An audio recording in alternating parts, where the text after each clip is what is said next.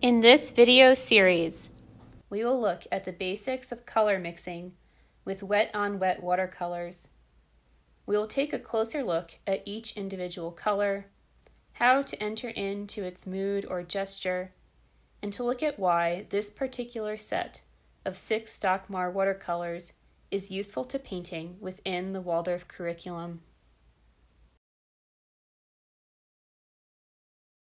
Before me I have two sets of watercolors. In the jars are the Stockmar paints and down on the right in the plastic palette are some Winsor & Newton tube paints that I use for layered watercolor painting as well as illustrating. I'd like to talk about why we have this particular set of six colors, how it's useful, and how none of them are actually true primaries and there's a good reason for that. I've made up a little color chart of sorts utilizing both sets of paints. Now, if you wanted a set of the most basic colors that you could mix to replicate the colors we see within the world, you would in theory need only the three primary colors plus the addition of darkness and light. These colors would be primary magenta, primary yellow, and primary or cyan blue a side note, this is not cyan blue because I don't have that in my painting set. If you wanted to get a closer look at what these three primaries actually look like, you could open up any printer and you will find all three of them in your colored inks with the addition of black. And all of those inks plus the white of the paper would allow you to print any photograph that you might have, duplicating most of the colors that we see out in the world. Now, why have more colors in a painting set? Because each of these colors, whether derived from natural or synthetic materials, or both, is not quite a perfect match. Different pigments have different qualities or personalities. Natural pigments especially like to move in different ways across the page. Some spread more easily, moving as if they have a mind of their own. Some mix better than others. Some are harder to spread. Some are bolder and some are softer. So if you look at this little chart here, between the magenta and the yellow, if I wanted a very minimalistic painting set, I could, in theory, Mix all the colors ranging from red down into vermilion and orange and gold and a warmer yellow and into yellow. But because each of these colors has sort of its own personality, they don't quite mix to make a perfect, true orange. So that's why it's helpful to actually have a red pigment or a vermilion pigment within my painting set. And red, it should be noted, is not a true primary. It is magenta with a tiny bit of yellow in it. Now sort of going along the outside, I have labeled where the Stockmar colors are in relationship to this little sort of color chart. Um, crimson red is pretty, is, is neighbors with magenta, but it is actually a little bit darker and that gives it some power and some oomph when you're painting. If you were to only paint with magenta, you would find that you get this very soft pink color, but it would be hard to get substantial red on the page and that you wouldn't quite get enough depth.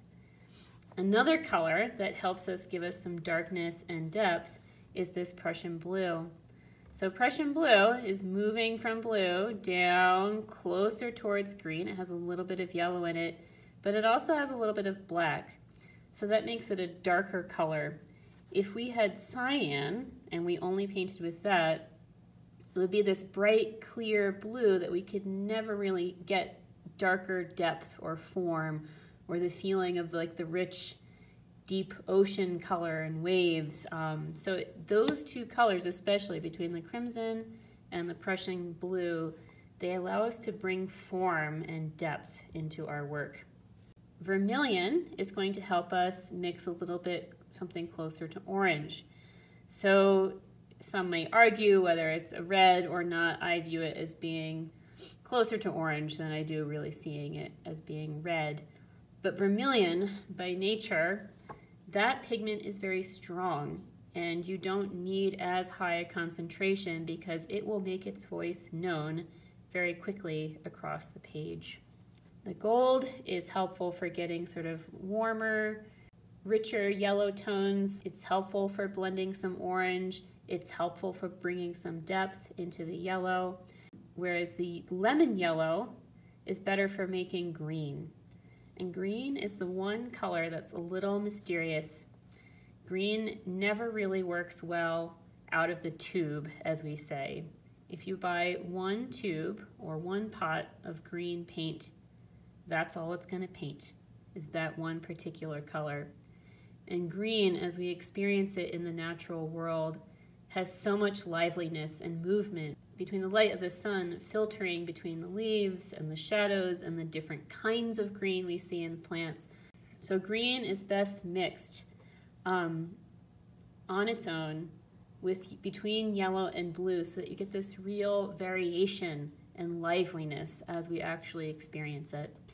And lastly, we have ultramarine, which is a blue that if you're looking at sort of a little triangle here, it's a blue that's a step closer towards magenta. And that means as a natural pigment, it's just going to blend better to make purple. Now you may have noticed that the purple that we mix can be a little bit, it's a little bit off. And that's because this red is a step past magenta. It has a tiny bit of yellow in it, so you're kind of mixing a teeny, teeny, tiny bit of yellow within this purple. If you were to mix it with magenta, you would get a brighter, clearer purple.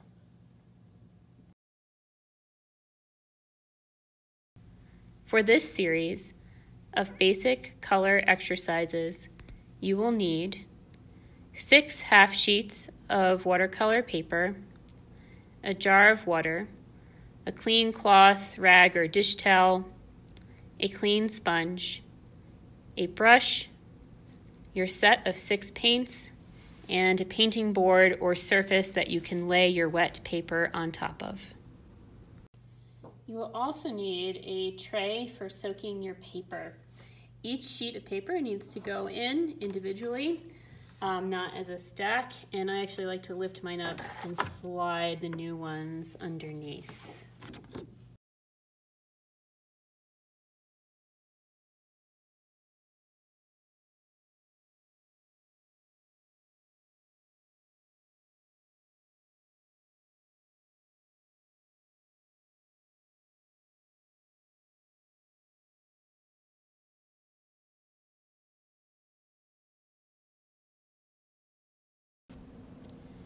Out of all of the painting exercises, this one is perhaps the most simple, profound, and also the most difficult. Painting each color once through can be easy enough, especially when the experience is guided by someone else. But how can we bring ourselves to return to it time and time again? Painting individual colors is like a meditation. The first few attempts are easy enough, but how do we stay with it? How can we learn to be fully present, open, and listening to what each color has to say? How do we hold back from naming our experiences too quickly in an effort to say, I've got this? It is helpful to imagine the colors as our friends or as people we can come to know. Every human being has a surface exterior, a physical manifestation that is visible to others.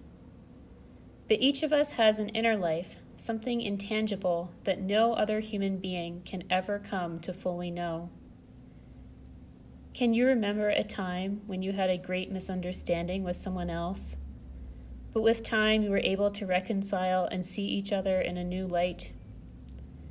Treat your colors as a friend full of great wisdom, someone who always has something more to give, something new to teach.